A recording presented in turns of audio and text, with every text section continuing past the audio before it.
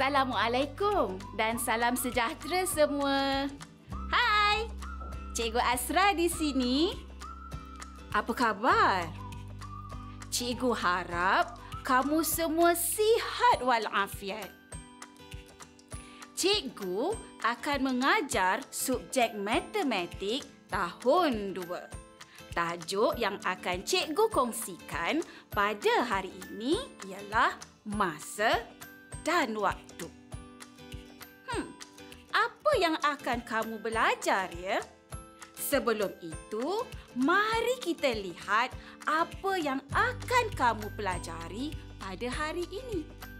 Kamu akan belajar mengenal tanda senggatan pada muka jam. Pastikan buku teks, buku catatan dan alat tulis ada bersama kamu.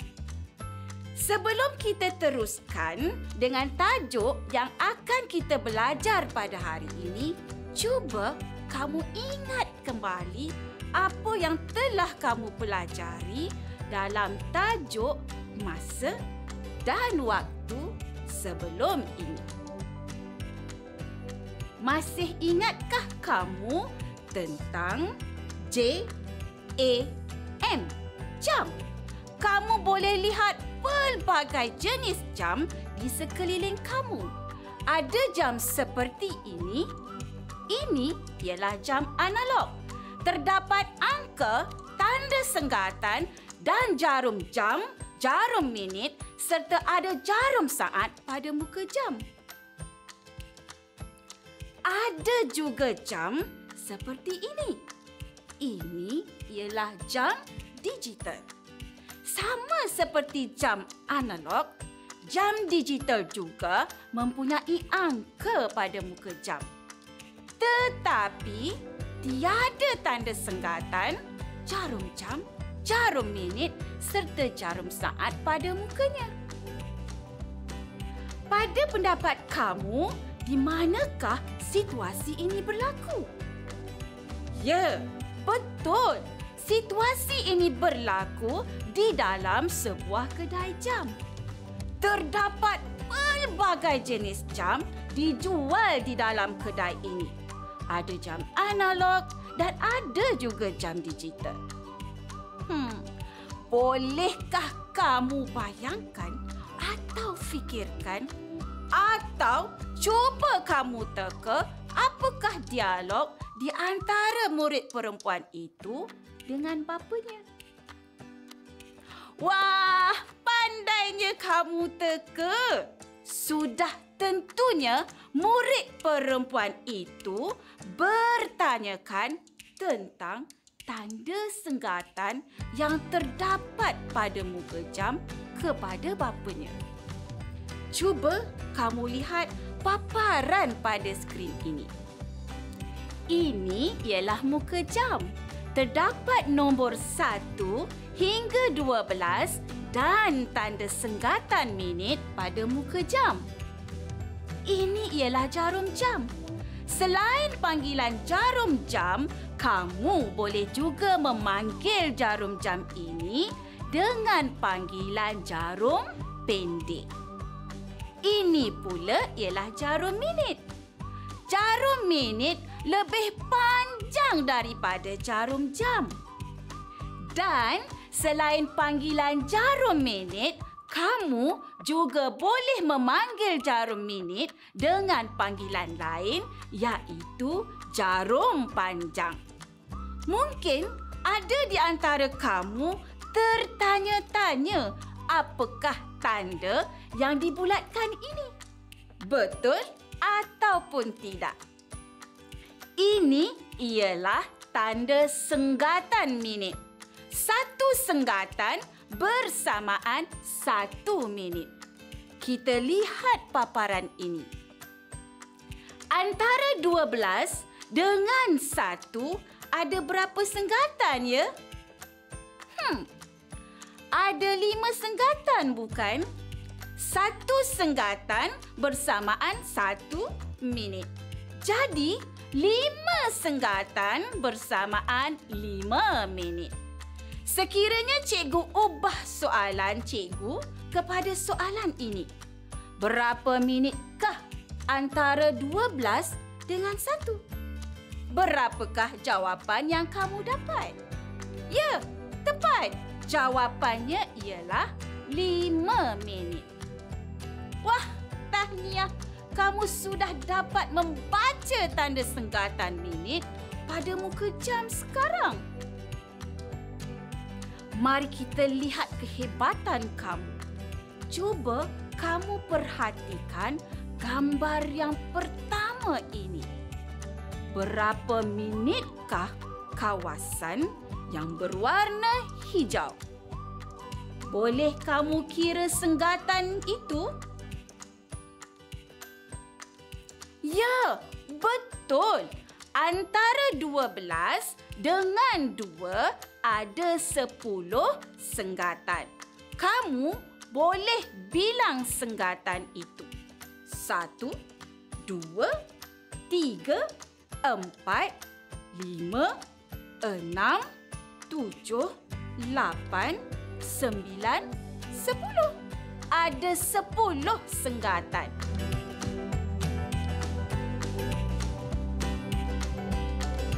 Maka jawapannya ialah sepuluh minit.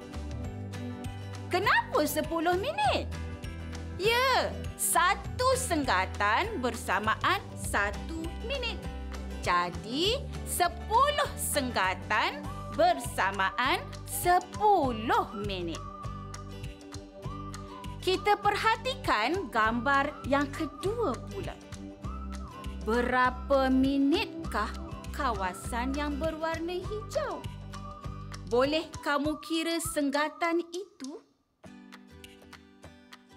Ya, tepat sekali. Antara 12 dengan 5 ada 25 senggatan. Kamu sudah tahu satu senggatan bersamaan satu minit. Ada 25 senggatan, jawapannya ialah 25 minit.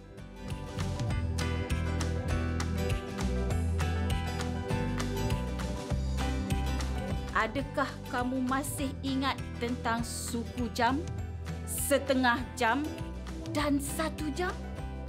Apa kaitannya dengan minit ya? Hmm. Perhatikan paparan ini. Gambar ini menunjukkan suku jam atau satu per empat daripada muka jam. Berapa minitkah suku jam ini? Bolehkah kamu bilang berapakah tanda senggatan minit bagi suku jam?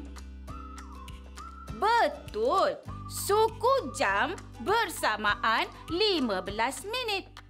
Bagaimana kamu mendapat jawapan 15 minit? Boleh kamu ceritakan pada cikgu? Oh, selain daripada membilang satu-satu setiap senggatan itu, kamu juga boleh membilang lima-lima. Atau kamu boleh membilang dalam gandaan lima. Ini bermakna setiap angka pada muka jam bersamaan lima minit lima, sepuluh, lima belas. Suku jam bersamaan lima belas minit. Bagaimana pula dengan setengah jam? Gambar ini menunjukkan setengah jam atau satu per dua daripada muka jam. Berapa minitkah setengah jam ini? Bolehkah kamu bilang berapakah tanda senggatan minit bagi setengah jam? Huh, tepat sekali jawapan kamu. Setengah jam bersamaan 30 minit. Bagaimana kamu mendapat jawapan 30 minit? kamu telah pelajari sebentar tadi bahawa setiap angka pada muka jam bersamaan 5 minit. Jadi, 5 minit dan 5 minit dan 5 minit dan 5 minit dan 5 minit dan 5 minit bersamaan dengan 30 minit. Atau kamu boleh menggunakan proses penambahan untuk mendapatkan jawapan. 5 minit tambah 5 minit tambah 5 minit tambah 5 minit tambah 5 minit tambah 5 minit sama dengan 30 minit. Bagaimana pula dengan satu jam ya? Adakah satu jam itu bergerak pada satu senggatan sahaja?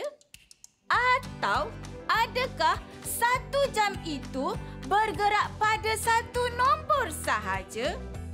Atau adakah satu jam itu bergerak sebanyak satu pusingan pada muka jam? Mari kita sama-sama cari jawapannya. Satu jam bermaksud jarum minit bergerak satu pusingan lengkap pada muka jam. Apa itu satu pusingan lengkap? Satu pusingan lengkap ialah satu pusingan jam apabila jarum minit bergerak mengikut arah jam bermula nombor satu hingga ke nombor 12. Satu jam bersamaan berapa minit ya? Bolehkah kamu bilang berapakah tanda senggatan minit bagi satu jam? Syabas! Jawapan kamu tepat. Satu jam bersamaan 60 minit. Bagaimana kamu mendapat jawapan 60 minit? Boleh kamu bilang secara lima-lima? Ya, sudah tentu kamu boleh membilang secara lima-lima. Lima, sepuluh, lima belas, dua puluh, dua puluh lima, tiga puluh,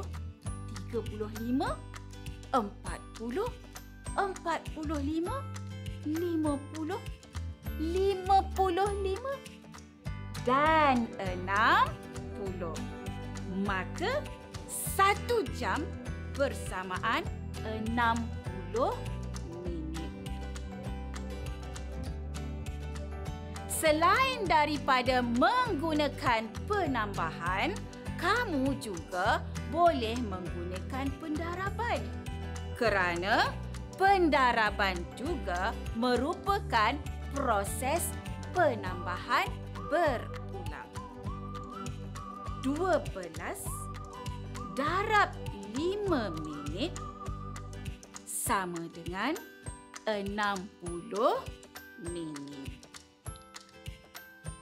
Bolehkah kamu bantu cikgu selesaikan masalah ini? Pada pendapat kamu, adakah gambar ini menunjukkan 40 minit? Hmm. Mari kita sama-sama cari jawapannya ya. Lihat pada kawasan yang berwarna hijau itu.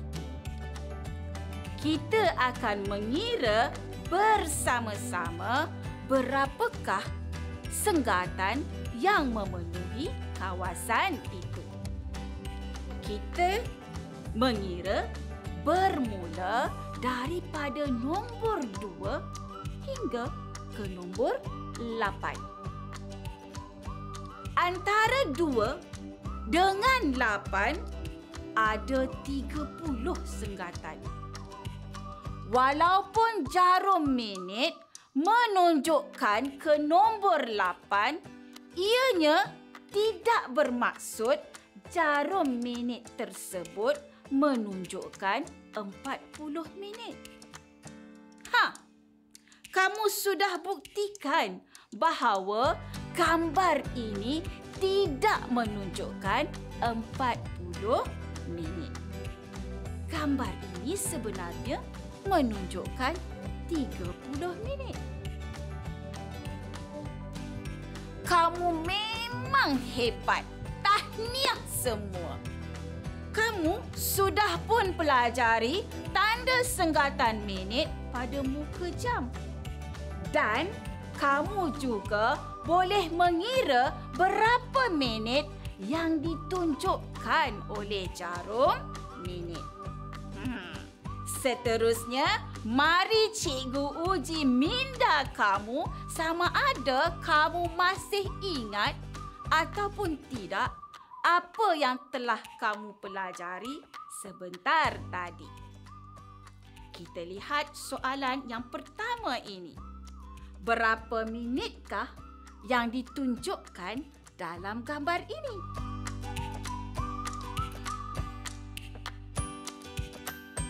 Ya, betul. Jawapannya ialah 20 minit. Antara 12 dengan 4 ada 20 senggatan. Bermakna 20 minit. Okey, kita teruskan dengan soalan yang kedua. Berapa minitkah yang ditunjukkan dalam gambar ini?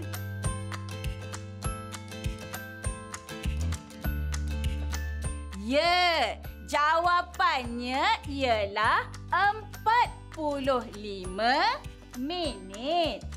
Antara 12 dengan 9 ada 45 senggatan. Bermakna 45 minit. Wah, kamu sudah semakin mahir dengan tajuk ini. Okey, kita lihat soalan lain pula. Berapa minitkah yang ditunjukkan dalam gambar ini?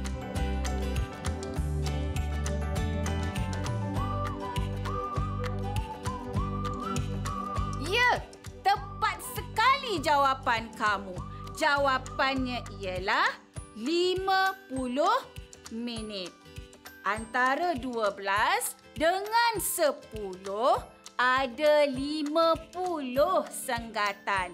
Bermakna 50 minit. Syabas! Kamu memang hebat.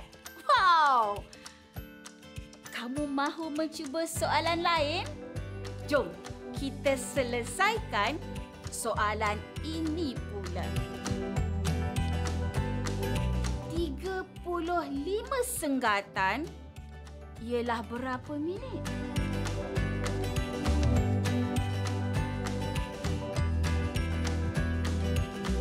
Ya, jawapannya ialah 35 minit. Kamu sudah pun mengetahui bahawa satu senggatan bersamaan satu minit. Maka 35 senggatan bersamaan 35 minit. Kamu mahu mencuba soalan lain? Jarum minit bergerak dari 12 hingga 8. Bermakna berapa minit ya?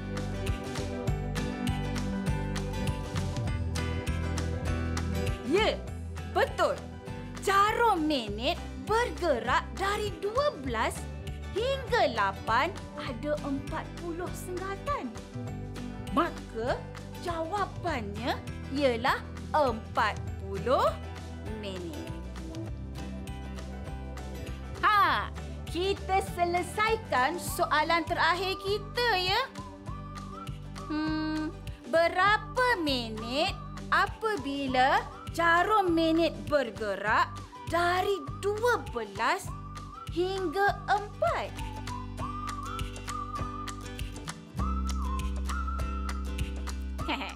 Kamu sudah dapat jawapannya? Ya, tepat sekali. Jarum minit bergerak dari 12 hingga 4 ada 20 senggatan. Jadi, jawapannya ialah 20 minit.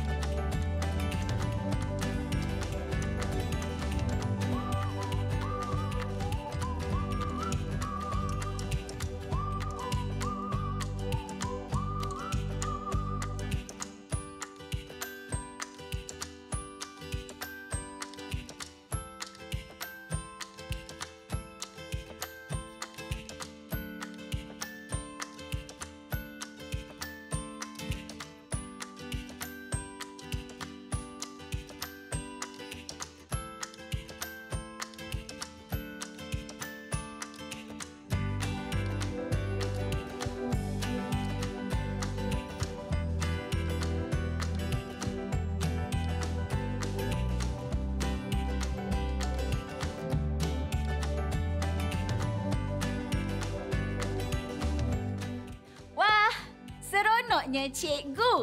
Kamulah murid cikgu yang paling hebat. Macam mana semua? Okey. Kamu ingat lagi apa yang telah kita pelajari sebenarnya? Di akhir pelajaran, sebenarnya kamu mengenal dan boleh membaca tanda senggatan minit pada muka jam. Baiklah, itu sahaja buat kali ini. Kita jumpa lagi di lain masa dengan tajuk yang lain pula ya.